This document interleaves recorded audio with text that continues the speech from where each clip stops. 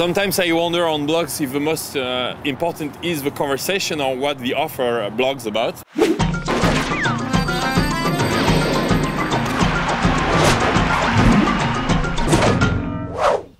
There is a service I've been using for a few months now, which is called Disqus, and Daniel Ha is one of the co-founders, right, Daniel? I am. Can you explain what is uh, Disqus?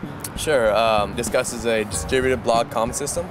You can install in any blog, and we connect the conversations and the communities across those sites. So if you comment on one, you'll be the same person when you comment on another one. Like for example, this morning I left a comment at uh, Dave Winer's scripting news blog. Right.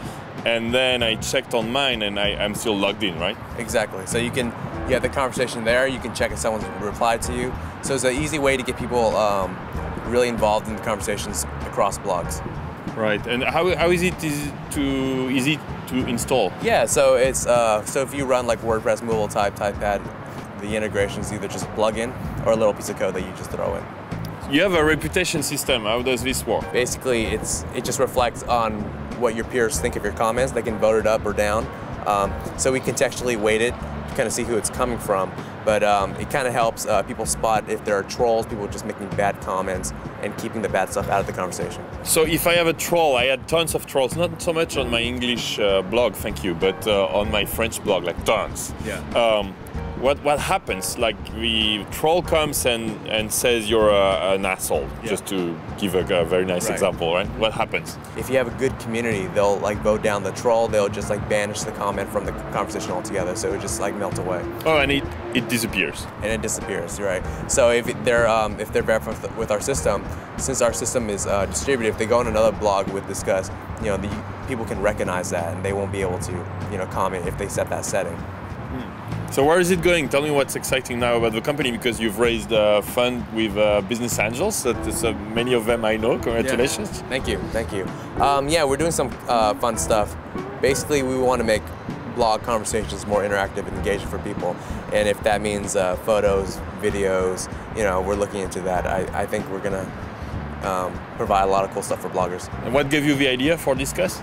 My co-founder's name is Jason. We were working on something together uh, with discussion forums. We saw that uh, forums weren't that good. Um, they're very fragmented, separated. But a lot of the discussion now happens on blogs. So we kind of shifted focus, looked at the blogs, and we when we go on blogs and we comment, we don't feel like we get that um, content. We don't we don't carry that uh, those comments with us. So we leave it on a blog and gets lost forever. We don't know if someone responded. If the if the site goes away, like our response goes away with it. So we wanted to uh, build the service that kind of brings conversations back to the bloggers. They can carry it with them. It, it belongs to them. How yeah. difficult was it to create your uh, startup yourself? You know, you could have also joined a company to do this, right?